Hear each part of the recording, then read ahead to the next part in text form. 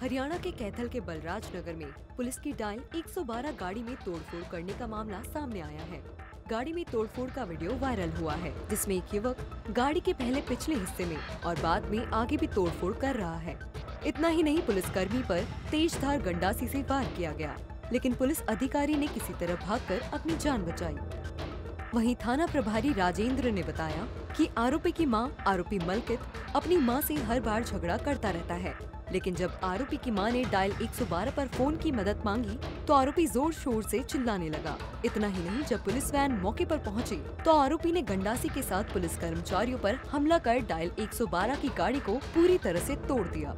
वहीं पुलिस पर जानलेवा हमला करने सहित अन्य धाराओं में आरोपी को गिरफ़्तार करके जेल भेज दिया गया है। अगर गली नंबर चार की घटना है ये जो आरोपी है, इसकी माता ने गाड़ी बुलाई थी। डायल 112 पे फ़ोन किया था कि मेरा बेटा जिसका नाम मलकीत है तो भाई ये मेरे साथ मारपीट कर रहा है। तो उस इवेंट पे डायल 112 की गाड़ी है जो वहाँ पे गई थी ई आर वी तीन सौ पिचासी मौके पे गई थी। तो जैसे ही ये मौके पे गए और इन्होंने उससे, मलकीत से पूछताछ की तो वो बोला कि हमारा आपसी पारिवारिक झगड़ा है। तो भाई आप यहाँ क्या लेने आए हो? तो उसने पुलिस वालों के साथ जो वहाँ मौके पे गए थे, उनके साथ धक्का मुक्की शुरू कर दी। और जैसे ही फिर वो पुलिस वाले थोड़े पीछे हटे तो वो घर से अंदर से जाके गंडासी लेके आया।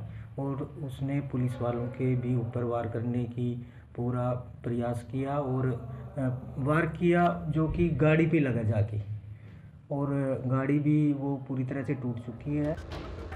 बहरहाल ये कोई पहला मामला नहीं है कि किसी सन की व्यक्ति ने इस तरह की वारदात को अंजाम दिया हो।